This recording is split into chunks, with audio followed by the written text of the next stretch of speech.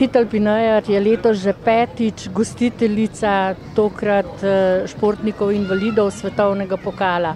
Kdaj se bo svetovni pokal odvijal? Svetovni pokal se bo pričel v ponedeljek 20.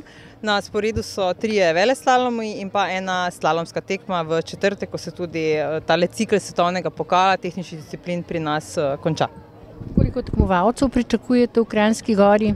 Cirka 60 do 70 uh, na dan, vsega skupaj pa je cirka 120 do 150 udeležencev, spremljevalnim osebjem vred. Ste v času svetovnega pokala pripravili kakšne animacije, kakšen poseben program?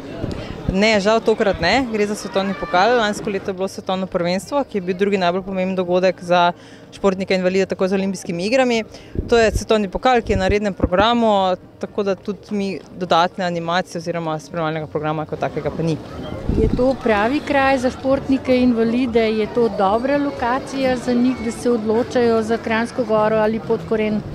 Je, zaradi tega, ker je prav njihova želja, da tekmujejo ravno na poligonu, kjer poteka tudi svetovni pokal uh, Vitranc, ker je to eno izmed tudi najtežjih terenov, ki jih oni v svojem urniku tehničnih disciplin imajo in tudi imajo veliko željo, da tukaj dirkajo.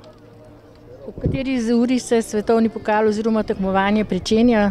Vsaki dan ob 9.30 je prvi tek, druga uh, vožnja je pa ob 13. uri. In takoj po končani drugi vožnji so tudi same podelitve NASA v izteku samega tekmovališča.